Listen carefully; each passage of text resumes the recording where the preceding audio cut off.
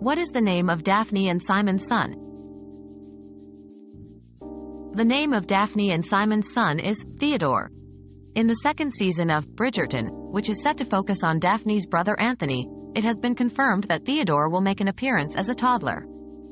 In the books by Julia Quinn that the series is based on, Theodore is also referred to as Teddy, and is described as having his mother's dark hair and his father's piercing blue eyes.